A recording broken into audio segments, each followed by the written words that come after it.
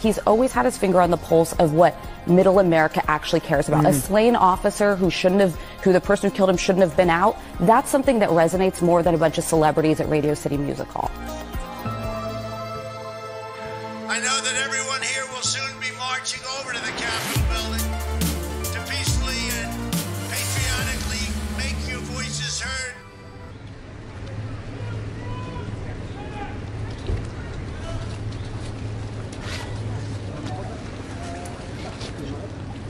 Thank you very much.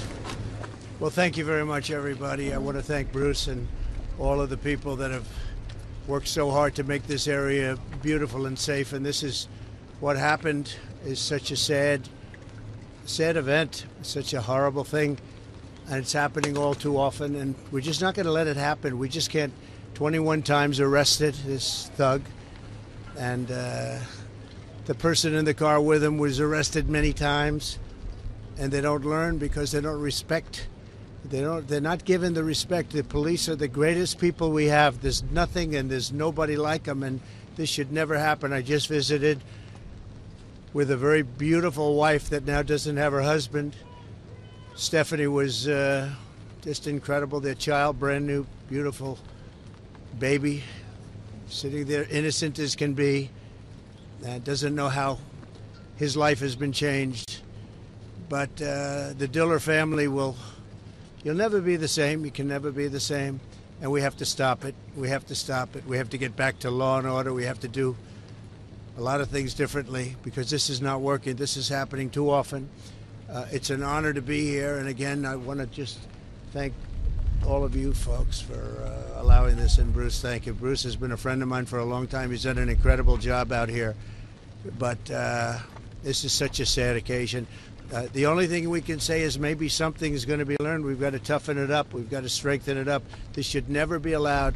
Things like this shouldn't take place and to take place so often. So thank you all for being here. It's an honor, and it's an honor for me to be here. This is a great family, the Diller family. I met the friends, and I met every one of them inside, and these are just incredible people that are just devastated.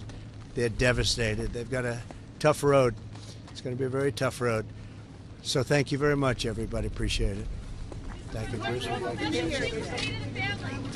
thank you very much.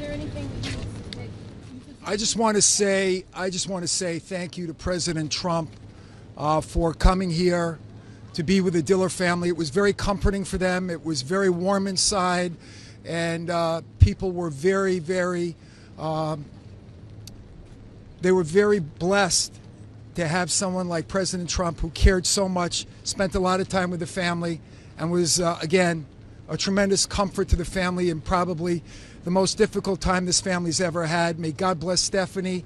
Ryan, we are going to help raise because he's only one years old and he's going to grow up without a dad, but he's going to have thousands of dads that are going to look after him and uh, to Fran, his mother, and to Jessica, Jennifer, and, and Jason, uh, his brother and sister, and the whole family, Aunt Carol, Uncle Jimmy.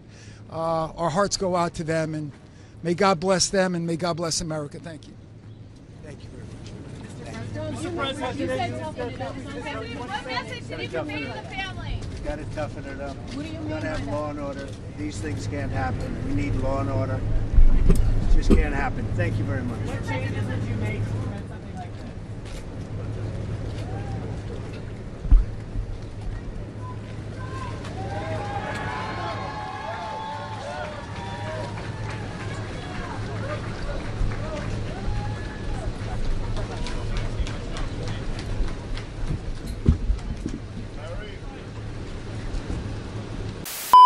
just listening to Arlette talk about this star-studded event where you've got three former Democrat or two former Democratic presidents and Joe Biden all in one room uh, with a bunch of stars showing up. And then in the same at the same time, here in New York, Donald Trump is here. He's been invited by the family of that New York police officer who was killed during a traffic stop. All the while, there is a case going on in Georgia involving Trump uh, and the 2020 election. When you look at all the things that are happening, how is this being used? Because it always is. Mm-hmm. Uh, how are the optics of this being sort of used and spun? I have to say, Donald Trump is getting smarter. This is his third time running now. He knows what he's doing in a way that there's a sophistication that wasn't there, and I do think this works. But you said that the Trump campaign has gotten smarter um, over these years. They've learned lessons from what happened back in, in 2020. They have. They know how to use the. They, they know how to gain media attention. So if you don't have the money there, he can live based on earned media. It's kind of the, the playbook he used in 2016. And I think he does, he's always had his finger on the pulse of what middle America actually cares about. Mm. A slain officer who shouldn't have, who the person who killed him shouldn't have been out. That's something that resonates more than a bunch of celebrities at Radio City Music Hall.